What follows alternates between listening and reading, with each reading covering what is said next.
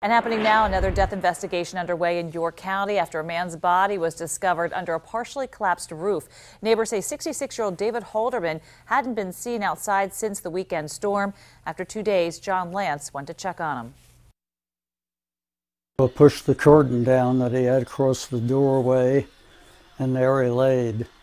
So I called to him, he didn't answer, and then I shook him, and he was stiff, so I figured he had already passed away. And the York County coroner suspects Holderman died of either carbon monoxide poisoning or natural causes.